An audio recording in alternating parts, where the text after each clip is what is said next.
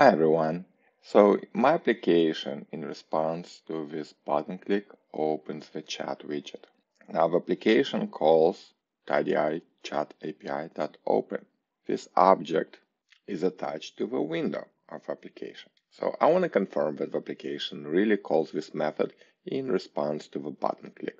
So clicking on the button is pretty simple. We just have to uh, get the button and click on it. Okay, now we click a little bit too early because the chat is not ready yet. So first we want to wait for window Tidio chat API to exist. So here's what we will do. We don't need then. This command with command its make sure that the window does have this property, that it's not undefined. So this will delay the click until the object actually exists on the window. Great. Now we need to spy on the open method call.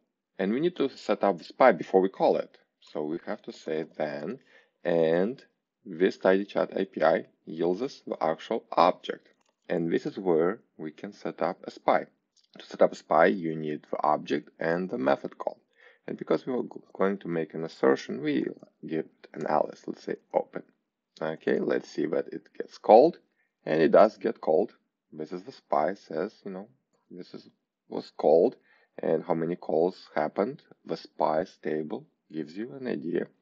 So let's just get the spy using at open and should be called once. Perfect.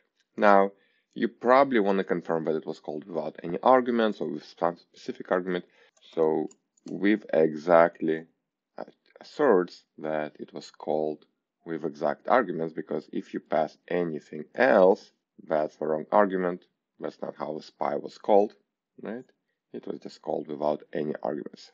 So this is how we can peer inside the application code and see what calls it actually makes to the third-party library.